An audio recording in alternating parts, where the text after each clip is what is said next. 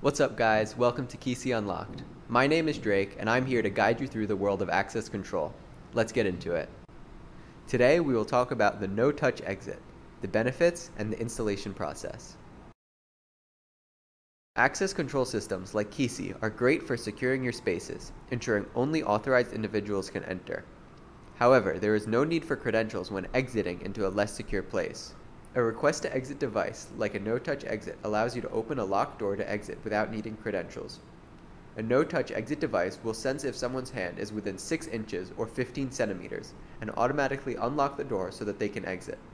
Push-to-exit buttons and motion sensors are some other common request-to-exit devices. No-touch exit buttons can be used anywhere you would use a push-to-exit button.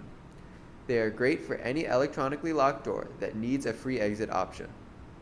With the wave of a hand, anyone inside the room can unlock the door to leave. No-touch exits combine all of the benefits of push-to-exit buttons and motion sensors. Like motion sensors, the contactless operation is sanitary and convenient. Like physical buttons, they are usually only triggered if someone is trying to leave the room. This enables the Kisi system to accurately track when people leave and monitor occupancy.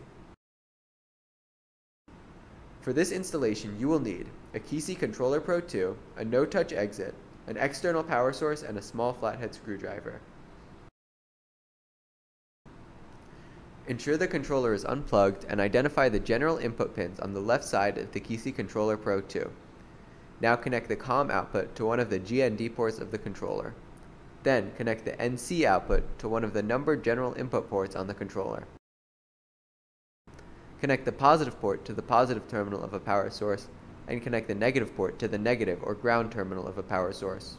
Note that here the Kisi Wiegand board is being used as a power source for demonstration purposes. We do not recommend this as a permanent solution. Now let's set up the software. Sign into Kisi. Navigate to Places and select the place you want to configure the request to exit device for. Navigate to Hardware in the left-hand menu and select Controllers. Select the controller that has the request to exit device wired to it. Scroll down and click on Inputs.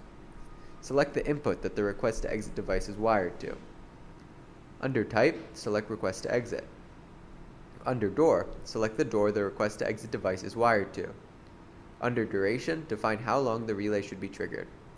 Under Action on Access, select Unlock Door. Under End of Line Type section, specify the desired end of line status that you want Kisi to detect.